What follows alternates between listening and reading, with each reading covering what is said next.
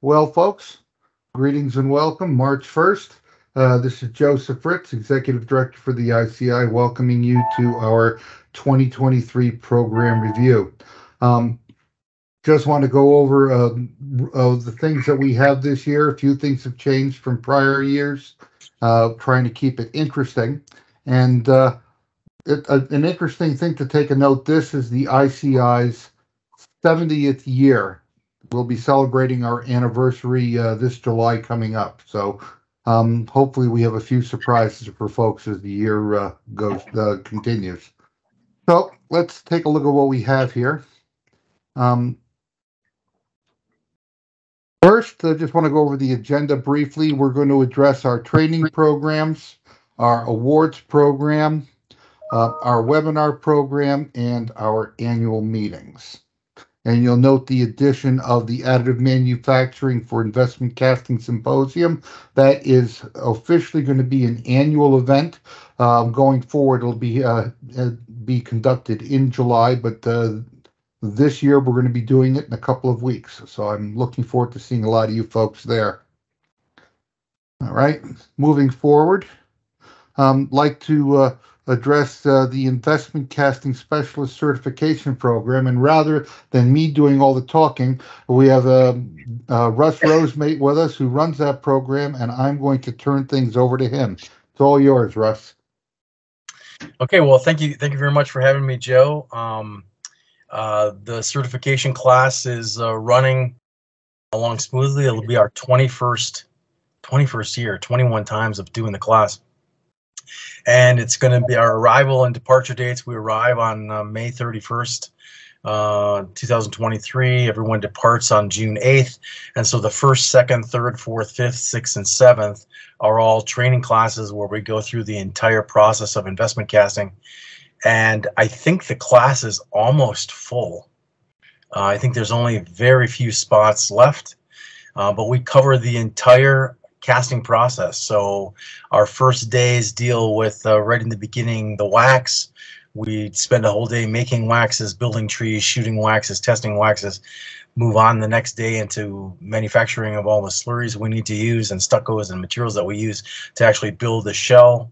We look at a little bit of tooling and talk about tooling and how we design and build tooling. Look at gating and feeding.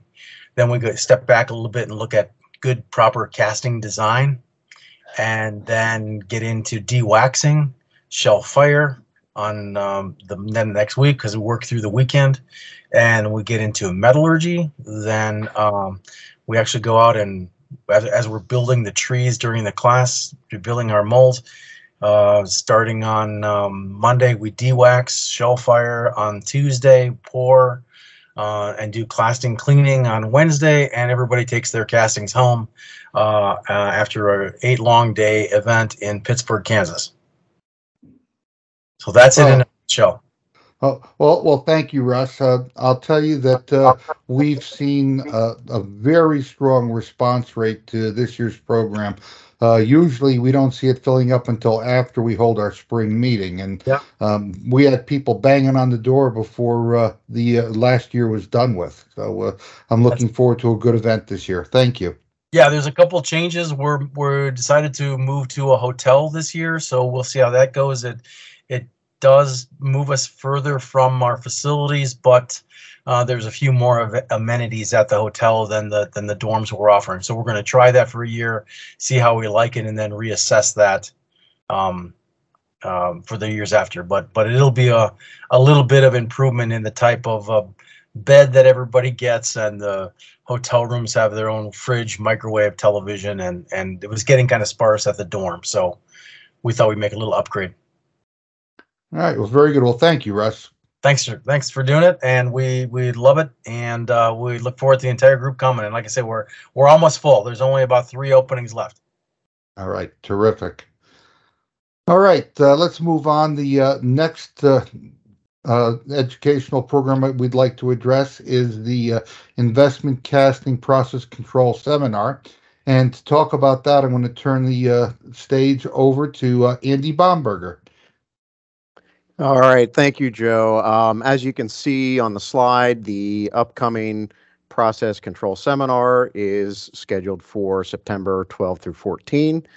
Um, the way that is structured is approximately slightly longer than a, than a half day per day is uh, scheduled for the seminar time. Um, last seminar we did 10 o'clock Eastern to about 5 o'clock Eastern. Um, so, you know, the nice thing with that is it, allows folks to uh, stay local. Um, they have the opportunity to, to get some work done in the morning or uh, depending what time zone they're in, maybe in the afternoon after the class is done. So um, it's, you know, two, two and a half days of seminar uh, by the uh, using a, a virtual classroom setting.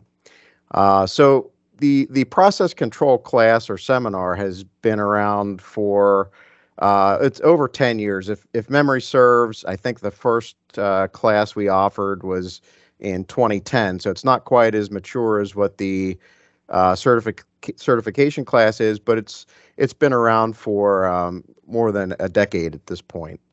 Um, at the heart of the process control class is a uh, problem solving process that's based on the DMAIC method. Uh, and we've themed it along with the investment casting process.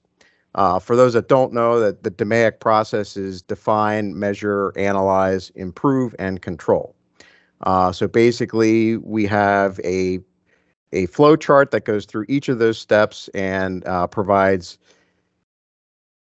provides the, the students uh, a process to, to use the DMAIC process through the investment casting uh, uh, setting. So we do teach the, the process control aspect, not the process. Uh, the investment casting certification program would be an excellent building block to lead into the process control seminar. Uh, we provide instructional lectures, group activities with real world investment cast scenarios. This will give the students the background learning as well as hands on experience working in a group setting. Um, like I said uh, earlier, this, this program started about 10, 13, somewhere around that uh, years ago as an in person learning event. Um, over the last three or so years, we've shifted it to a web based virtual classroom um, and one of the the nice things about that the uh, the seminar is you don't really need any special tools or software to participate in the program. Uh, we use Excel, and um, the the thought process there was that uh, most folks have either Excel or Sheets or something similar to that readily at hand, and they can uh, apply what they learn immediately back in their Foundry. We cover such topics as CP, CPK, measurement system analysis, histograms, gauge R&R, ANOVA, cause and effect matrix, and different types of variation. Uh, this provides a toolkit and a process for the students to return to the Foundry and apply. Uh, we also reinforce that process control happens on the floor and not behind the desk. So, some feedback that we've had from the classes uh, has been overwhelmingly positive, with um, either a good or or the vast majority of the students rate the the seminar as excellent. Um, what they typically like about the the seminar is, is the hands-on activities and working in smaller groups. And this does allow for 100% participation through the class. We, uh, typically you can't sit in the corner and, hide. Everybody's involved in the in the seminar. Um, it also stimulates thought and uh, liked uh, with a virtual setting. They liked that they could get some work done before the class, and they didn't need to tack on one or two days of travel to get back and forth to the to the seminar. Um, with the move to the virtual classroom, we, we've had some technology issues that that we're working to resolve uh, and they're pretty minor in nature, but specifically it's you know file sharing and controlling the breakout groups, and we are working to address that for the next seminar. Um, the other challenge that we had with it was um, you know when we're in person, you can kind of walk around the room and see where everybody's at. Uh, particularly with with Excel, not everybody's on the same uh, page there with with the Excel capabilities. Um, so we're we're creating and, and modifying some of the material to facilitate um, working virtually. Um, some additions that we'll have uh, for this upcoming seminar, we're, we're adding uh, more control exercises to demonstrate the implement implementation and we're refining some of the print and digital data available prior to the class. So that's all I have, Joe. All right. Th- thank you very much, Andy. Uh, appreciate uh, all the work uh, you and the team have done to put this together. Just to give a little bit of a background, this uh, used to be a live program, and it was totally redesigned several years ago, and, and to continue as a live program. The pandemic pushed us into the virtual environment, and uh, the the team, you know, they just sat right down and got to work putting this all together. And all of us had some concerns about doing this virtually, but uh, last year it was extremely well received, and uh, the fruits of the labor uh, were uh, there in the testimonies, uh, testimonials that we had received from the students. So thank you very much for your efforts and to the rest of the team. Um, the uh, process control seminar and the certification program generally work hand in hand. Uh, one shows you how to make it, the other one shows you how to control it.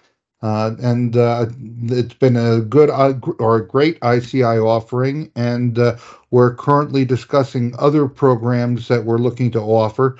Uh, one of which, which again, this is a future program, but uh, looking for a certification program for the use of additive manufacturing in investment casting. I think that we might hear a little bit more about that later in the in the call. All right, let's move on. The the uh, next area I'd like to address is regional meetings. And uh, um, I'll talk a little bit about this. Uh, and I like going over history. Uh, the ICI used to conduct regional meetings all the time up until 9 11. And it put a major kibosh on the regional meeting. And uh, it wasn't until a couple years ago, about uh, four or five years ago, we reintroduced the regional meeting. We grew to a point that we were doing about four a year, which is really optimal. Um, then we got hit with the pandemic. So last year we held our first regional meeting since uh, the, we had the pandemic, and that was uh, uh, conducted at um, Aristocast. We do try to hold these events um, at a location where we can get a foundry tour worked in. Uh, the typical focus is um, a series of educational presentations tied to the process. We try to have different presentations at every regional meeting in case people want to follow us around. And quite surprisingly, people do. I see people tra- uh, traveling across three time zones to go to these events.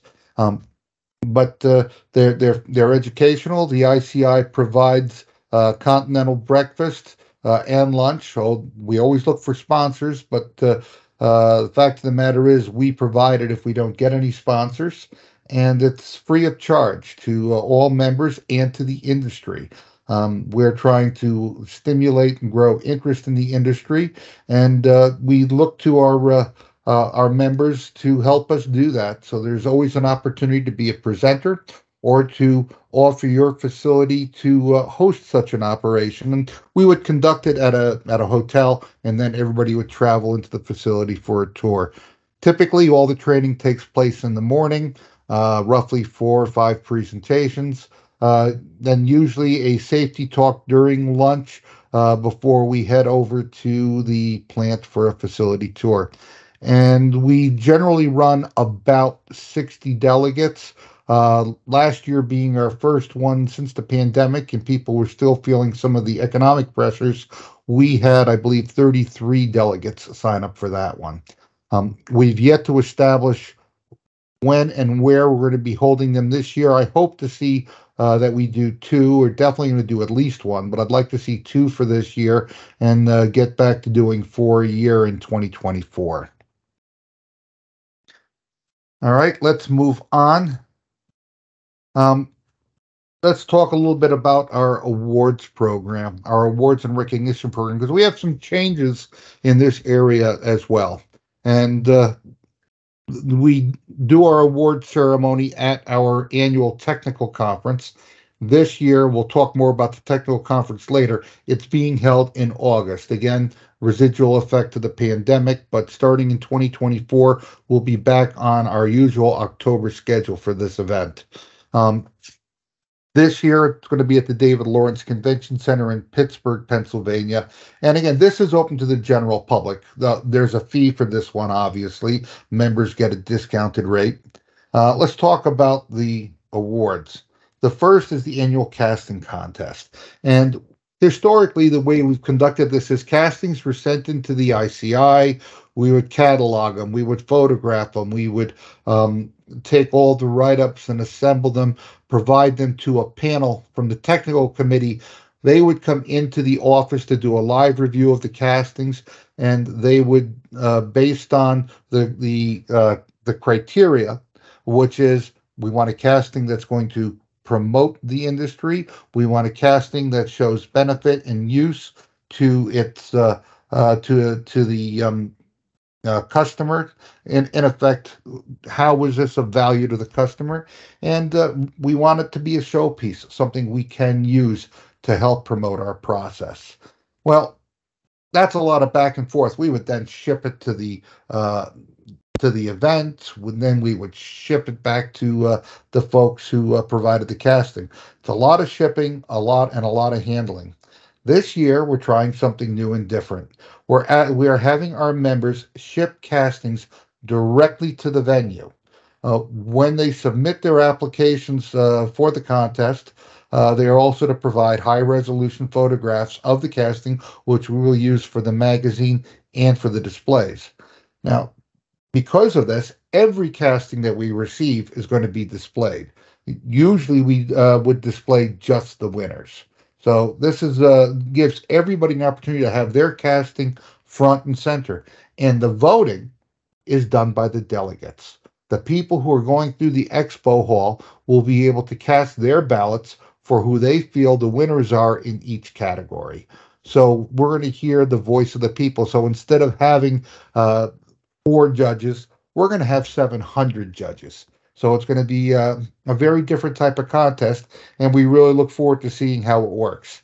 Um, so much less handling, much easier on ICI staff, which everybody breathed a sigh of relief when we came up with this, and uh, we are very hopeful that this will uh, go uh, well.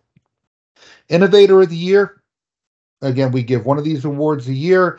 Um, it is uh, mem- it, it actually takes two members to nominate this. You need a nomination and a second, and it's uh, it the form is fairly self-explanatory. We're looking for a company that has uh, implemented an innovation and is willing to share it with the industry.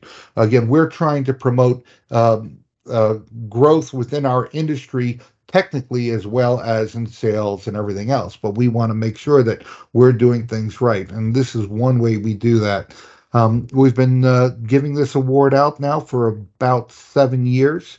And uh, it, I always enjoy reading the um, applications that come in because it's always a learning experience about what our members are doing out there.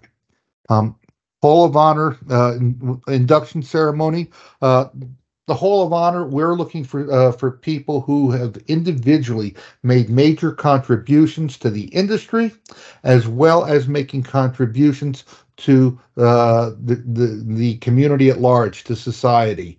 Um, you know, we're looking for well-rounded people that uh, are outstanding in their field and have been there supporting the industry uh, and using their skills as a leader to develop people. Um, we look at, uh, I think, five or six different criteria about uh, a person's track record before choosing this.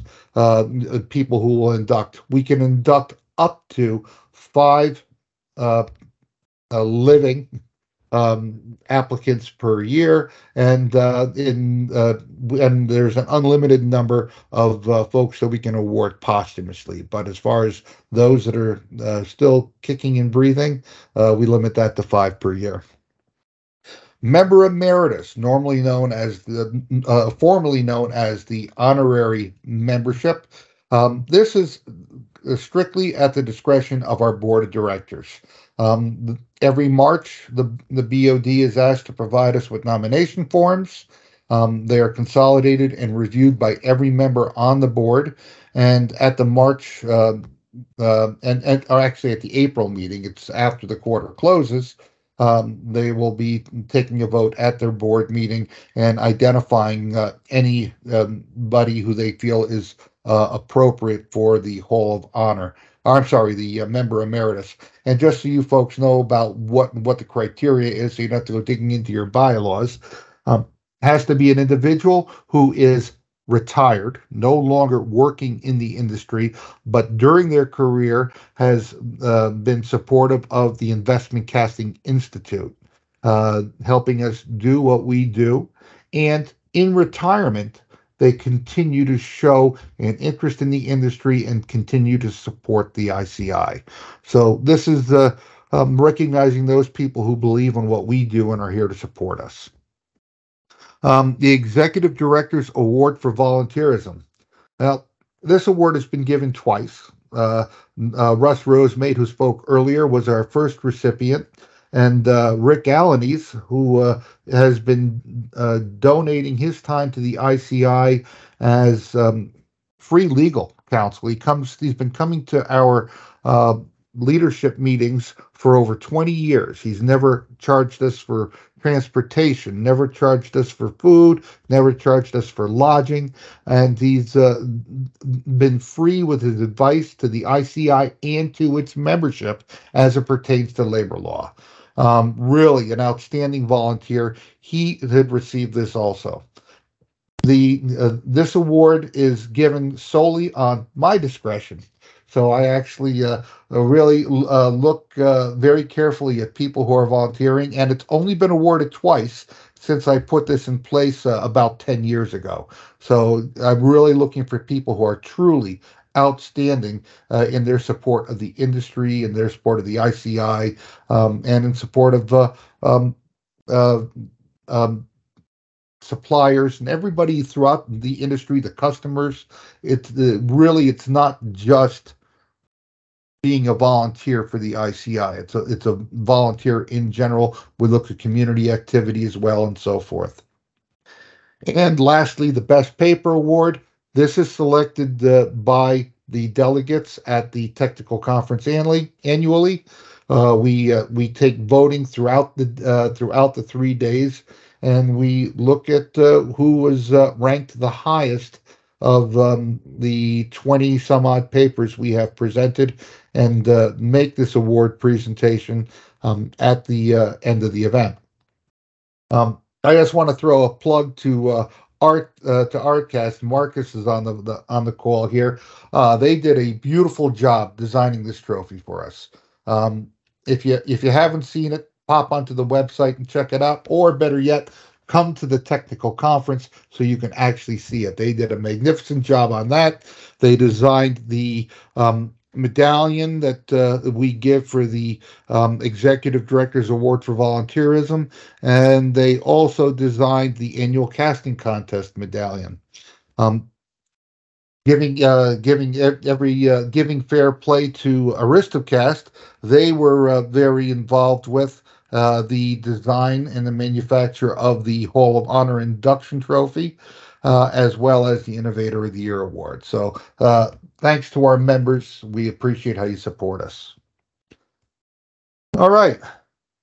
We're, ICI runs a webinar program. We're in one right now. And um, we are very fortunate to uh, have a, uh, uh, an, an, interesting uh, list of uh, mixed uh, speakers coming through here. I just want to touch on a couple of them real quick. You'll note that there's the additive manufacturing roundtable listed twice. The topic for that is going for those will be determined at the uh, AM4IC event in Cleveland on March 14th and 15th. And like I say, we'll hear more about that later. Um, we try to uh, have people speak to or address issues that are of concern to the industry and try to do some education in the process. This is still a tentative schedule, and there will probably be more dates added. But uh, at a minimum, we're going to be doing webinars on these dates. And we are extremely fortunate to have uh, our next uh, presenter from April, who'll be talking at eight, on April 5th, Lisa Ryan, with us. Lisa is the uh, Chief Appreciation Strategist at Grategy. I'm very uh, honored to call her my friend, and she has uh, supported the ICI several times in the past. I'm going to ask Lisa to take a few minutes and just tell us uh, about her program and what we have to look forward to next month. Sure. Well, even though when we were together in Puerto Rico a couple years ago, God, can you believe what how the world has changed since then? We we talked about some strategies, some retention, some workplace culture strategies at that time, but the world has changed and we're not going back to the good old days of 2019. So when it comes to updating strategies, new expectations that employees have, new ways of looking at your business, even things like, you know, uh, different shifts and offering flexibility in a market where you think that you really don't have any flexibility, we're going to have just lots of ideas and strategies that you can use to um, keep up with it so that you can find and attract talent and keep them from becoming someone else's.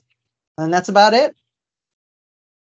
All right. Well, thank you, Lisa. I look forward to uh, hearing your full talk on uh, April 5th. Sounds great. We'll see you then. All right. Take care. Um, let's see. I just wanted to also mention that uh, uh our webinars they are a members only benefit, except for this one because uh, we want our non-members to see what they're missing out on. So hopefully um, if you if we have non-members on the call here, you're taking note. Uh, otherwise, this will be put into the public domain. So when people are learning about membership, they'll get to hear about our program. Well, next item is something I am extremely excited about. It is it is uh, the additive manufacturing for investment casting symposium. Um, just a few words on that. Then I'm going to let somebody else talk about it we originally set up AM4IC as one of our regional meetings uh, a couple of years back, uh, October of 2021, and still in the come just barely coming out of the pandemic, and we had a lot of folks want to come out to that. It was extremely well received. People saying you guys need to do this every year. Well, this year, this is, this is actually going to be the first of the uh, annual events. We've got it uh, uh, introductory priced, so it's a, a, great opportunity to come out to it. Um, breakfast and lunch is going to be included in the event, and we've got a great lineup of speakers. And uh, with that said, I'm going to turn the uh, stage over to our co-chairs for our additive manufacturing subcommittee to the technical committee. That would be Mr. Don Deptowitz and um, um, and uh, Paul, Mr. Paul Finelt. So, guys, why don't you tell us about this? Joe, can you hear me? Perfectly. Great. As I had to put in two computers because I'm traveling with them. One of them says it's got video, the other one says it's got audio. So I'm playing them both with no feedback. But um, as Joe mentioned, this is truly going to be a tremendous event. As of two weeks ago, we've had over 74 registrants. Uh, we've got some very dynamic speakers to talk technical, talk needs. I can tell you that our keynote speaker, Colonel Ryan from uh, TACOM on day two of work personal programs with him. In fact, I was the first person to bring in lightweight armor on a program for him to compete against the steel industry. And everybody asked, how'd you make, how'd you machine those, Don? They look so different. said, this is how we make castings, folks. It's, it's totally different. And, you know, when you think of AM, most of us, you, your terminology is additive manufacturing. We think of it as advanced manufacturing. There is no silver bullet answer out there. Each one of us has different processes, different tools. Every one of us as an industry is at different levels. So we've got to help people to understand how do we apply technology in our processes. And I like to think of it as how do we accelerate the manufacturing world into the 22nd century? By trades, I'm an aerothermodynamicist. I design the parts that you guys hate to make. But through my career, I've been able to work the entire supply chain from the raw materials to the castings, machinings, forgings, coatings, and work with my customers because many of my parts are out there for 70 years, and those are the ones that are flying in the sky. So we've got opportunities to do things collaboratively together. And if you look at some of the people that have registered for the program, we've been able to get Grumman Aerospace, the Air Force casting people are going to be there. We've got machine shop people who have showed up today to see their roles in there. So this is truly a cross industry barrier breaker. We're going to have people coming together talking because I think collaboration and communication is one of our biggest challenges and problems. And with the agenda we've got set up, it's going to be very bi directional to where we will have papers, we'll have moderators, we'll be able to exchange information live throughout the event. We'll have working sessions afterwards. We're gonna we've got an opportunity to have poster boards and it's going to evolve from a really a annual event to a living event. Uh, we want to keep this alive throughout all year to help industry. As Joe mentioned, there's two webinars uh, followed up for the rest of the year. this year. I've got more volunteers volunteering to come speak at the webinars. This, I mean, it's the excitement is building, and I think after the event, the excitement will build building even greater than that. So we've got to be bold and drive change. And it's hard for those of us in industry to really make changes. But we know how to do things, some of us, and it's how do we work together to make those changes happen. I used to tell all my design people that we're all manufacturers and they hated it. But I always used to tell them that some make good, some make trouble, and others make excuses. And I think the most of you on the phone know who makes the excuses is the design guys just says, figure out how to make it. Well, we're crossing those boundaries. We're breaking those silos down. So, Paul, I'll give you a chance to talk a little bit, if you would. Sure. Thank sure. you. Uh, I think the uh, the focus, and excuse me because I'm I'm getting feedback on my uh, my uh, Bluetooth headset. Uh, the the focus of the of the symposium really is to uh, provide a a really good educational venue for for everyone. Uh, we've asked all the speakers to not uh, commercialize their their presentations and uh, and focus on the educational aspects of what they're they're discussing. And and so we we really hope that there'll there will be an, an exceptional amount of value for the two days that you spend uh, with us. Uh, we have uh, working uh, hard to try and attract some uh, some academics to to join us and and provide some other uh, educational perspective, but but the perspective will we we will drive the perspective to be uh, focused on the problems that foundries have in adapting and adopting additive manufacturing techniques, uh, and uh, really to make it an educational opportunity to exchange across the entire supply chain the information that uh, that's needed to make uh, investment casting a strong partner throughout the entire supply chain. So uh, uh, we've all worked very, very hard to make sure that that goal is achieved.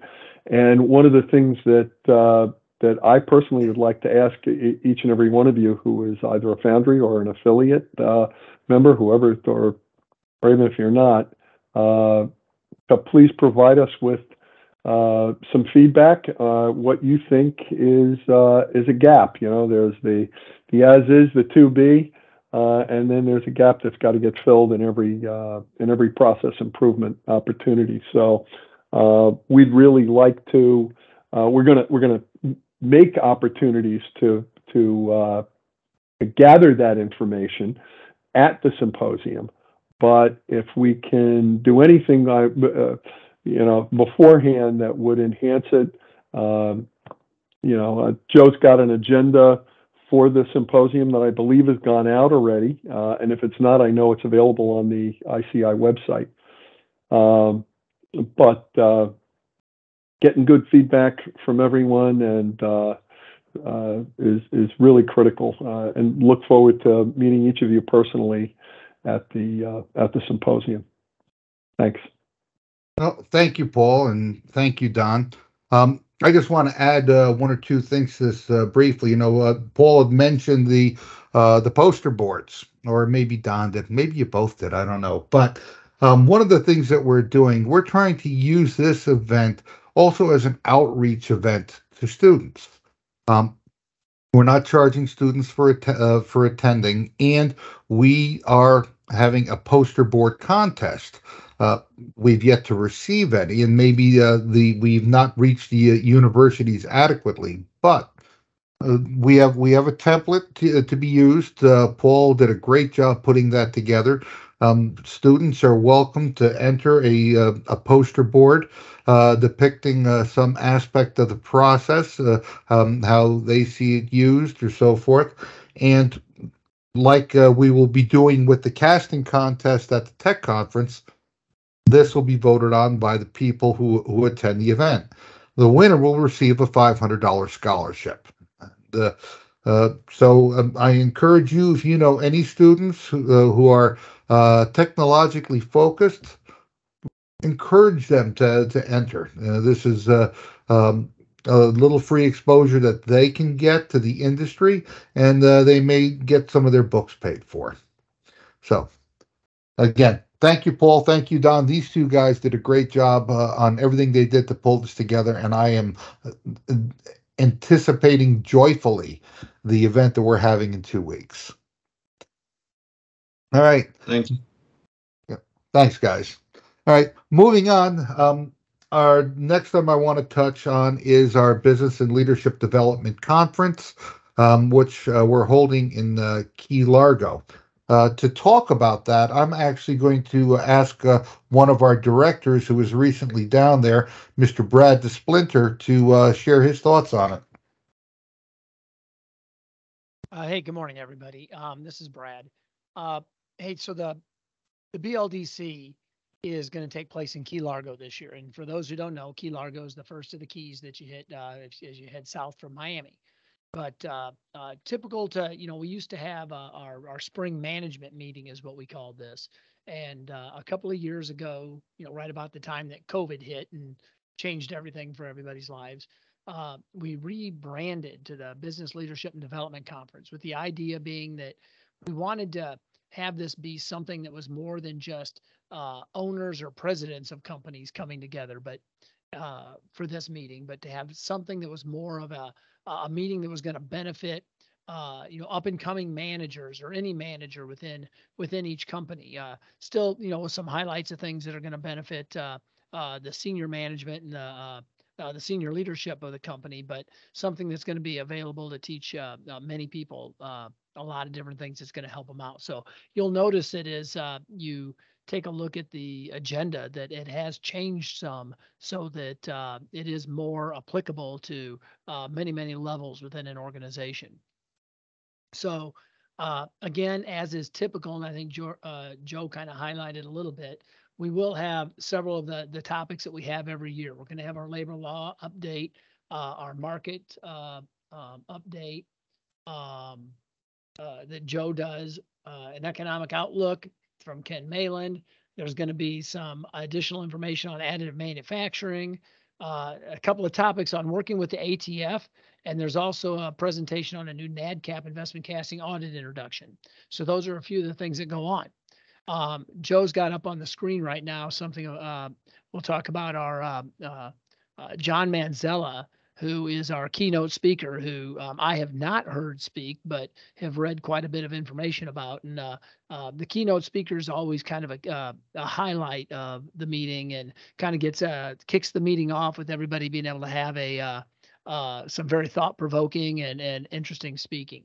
So beyond that, that's all kind of the nitty gritty that goes with the BLDC. So the big key that people take out of this meeting, uh, probably as much or more so than even the technical conference, is the networking that happens. It's a it's a smaller venue. It's a smaller event. Uh, the people that are involved, uh, um, there's not you know 700 people that are going to be there. It's going to be somewhere 120, 150 people, hopefully, that are in attendance. And it's going to be a, a much more intimate uh, setting and crowd. So that gives you an opportunity to do a lot more uh, networking. Um, the meetings tend to go from about uh, eight in the morning till uh, about lunchtime, maybe one o'clock, which gives some uh, additional time in the afternoon for people to uh, do some of that other networking they want to do and to be able to do something with uh, friends and colleagues, you know, that you may not get to do every other time.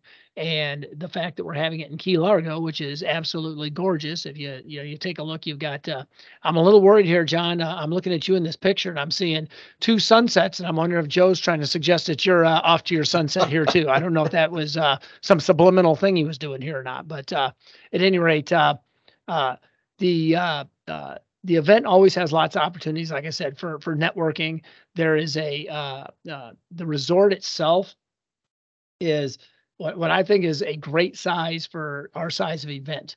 Uh, big enough that there's enough space for people to get around, do different things. Uh, you know, nice pool to lounge around it in the evening time. Uh, they have a wonderful sunset uh, traditions that they do there. And as you can see, the sunsets in the picture, you right there on the beach with the sunset. It is on the uh, uh, we're more on the Gulf side with this resort, so uh, you don't have the the rip tides and anything, but a little bit more calm water to to be there. Um, meeting rooms are, are are are right there on the premises. It's you know uh, from any one of the rooms to the meeting room might be a, a five minute uh, little walk, and uh, uh, the resort does have a lot of things that they offer in the afternoon. I know uh, I'll pick on John again here. I know that he did a little bit of fishing. He and Ty Euland had a, somewhat of a little uh, uh, fishing contest that they did, and this is uh, all with equipment that's you know, just right there at the resort. That the resort provides you everything from from fishing equipment to bait. So uh, lots of things to do, lots of things to enjoy yourself there, to be able to relax a little bit, learn a little bit, and uh, uh, network with old friends and meet some new friends that you want to network at with for years to come. Um, the resort itself is, as I said, on the Key Largo, which is the first key south of uh, Miami. It's about an hour south of Miami Airport, or maybe an hour and a half south of uh, Fort Lauderdale. So there's two places that are good options to fly into. Um, there are some shuttles that are available uh, if you don't want to rent a car. And you know, uh, when I was just down there, I Ubered, which was extremely convenient. Um, and uh, I didn't have to pay for a rental car that was just going to sit in a resort, and I get to pay a you know pay the resort to let me park it there. So that worked out quite well.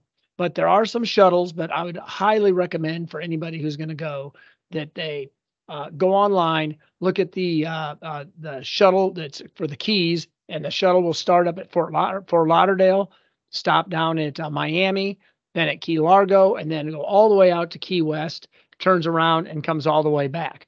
So uh, when you're on this, there's only a few shuttles a day, and you want to make sure that if you're thinking about using the shuttle, that you're planning your flights and the shuttle arrangement and uh, uh, according to what the time frame is, because the shuttles just kind of go, come and go. It's not uh, on your schedule; it's on theirs. Uh, otherwise, I said like I used an Uber, and that worked out really well for me. So uh, um, I'm um, I'm hoping that we're going to have a great great event. Uh, I know that the speakers will be great. I know that the networking will be great, and I know that the facility is great. Now it's just a matter of uh, what are we going to do for having uh, what kind of a turnout are we going to get? So if anybody has any questions, I'd be happy to answer anything about the resort when we were there or anything about the BLDC in general. If not, thank you. All right.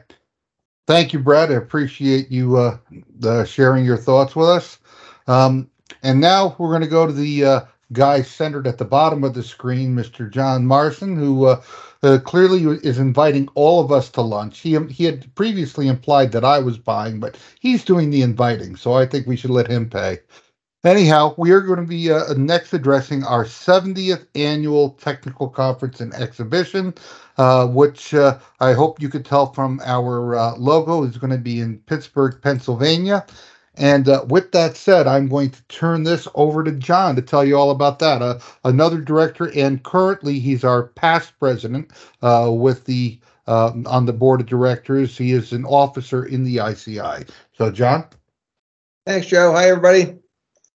Good afternoon. Uh, glad you could attend this session. Um, so yeah, this is a momentous occasion. 70 years, amazing. Uh, 70 years of uh, of ICI technical excellence and uh, supporting our membership. So so a real milestone, and it's going to be in uh, sunny Pittsburgh, Pennsylvania, uh, where the smokestacks have subsided over the years, and it's actually a really nice city. the theme is bridging investment casting technology to the future. So, thus the theme of the bridges. And uh, it's going to be held at the, as you can see here, at the Westin Hotel, which is connected to the David L. Lawrence Convention Center. So very convenient. You just uh, just walk from your your room downstairs across, and uh, you're right in the convention center. So can't be more convenient than that. Uh, it is going to be open to the general public, so uh, both uh, members, non-members, everybody can attend. international people. Uh, we hope to uh, to get a good showing there. Uh, we just had our World Conference last year, and even with COVID, we had uh, really really good attendance uh, and much greater than a typical uh, technical conference. So we're hoping to get the same here. we have a real treat for a speaker. As you can see, the gentleman in the picture over there is Colonel Greg Gadson. You may recognize him because he was in the movie Battleship who was fighting the aliens in Hawaii, uh, trying to protect Hawaii from the aliens. So uh, he's actually a well accomplished uh, Army veteran, uh, 20 years in the Army. He retired as a colonel, uh, former commander of Fort Belvoir uh, Garrison down south.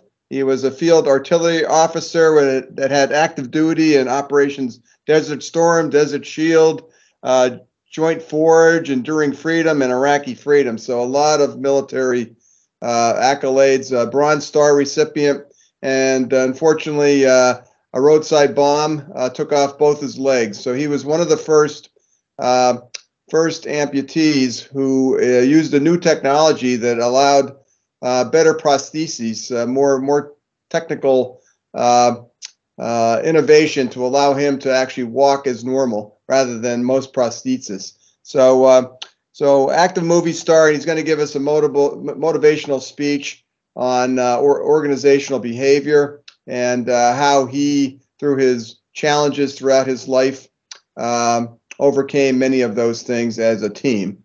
Uh, he was also a football player at West Point.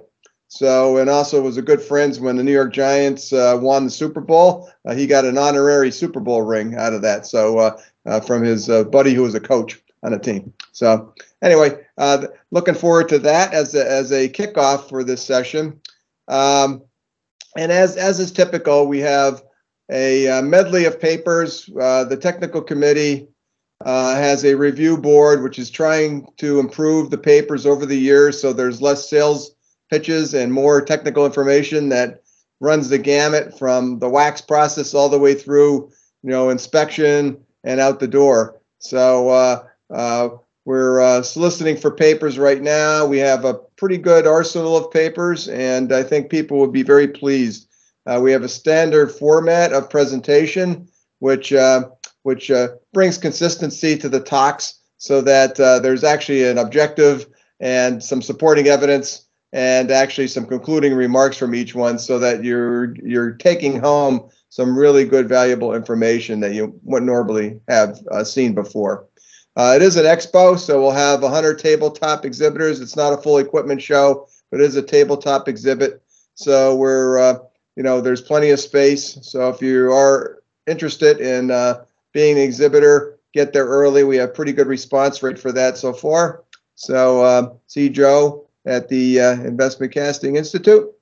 And then it's a great networking opportunity. So no place to uh, gather with a bunch of foundry people than at a technical conference. Uh, we, uh, as I said, have a good supplier network, university network, uh, uh, the foundries themselves, and people that uh, are are are are starting up new businesses to support the industry, including the additive manufacturing people that Don and Paul just spoke about. As is typical, we have really good receptions, good food, and good drink. And so, what could be better for Foundry people than that? And uh, you know, a Sunday welcome reception and a Tuesday reception, and we're planning some uh, some events that the members could attend during the session as well. So um, I think that's uh, pretty much covers most of it. I don't know if there's any questions.